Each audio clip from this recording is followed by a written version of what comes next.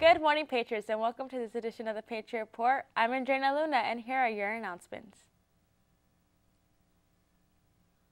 Here's a significant piece of black history. Mr. Benjamin O. Davis Sr. was the first African general officer in the U.S. Army.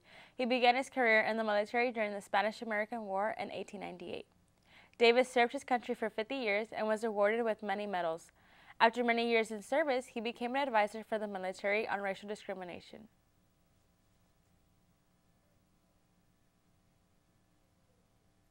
BAD Book Club is having their next meeting on Thursday, February 15th at 2:45 to 3:45 in room 1132.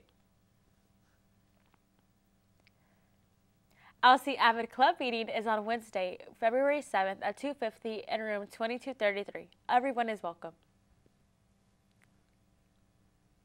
Model United Nations is having an informational meeting on February 5th at 2:45 in room 2141. Listen up, AP students. Registration for your tests are now open until February 14th. Remember to stay updated on any AP test information.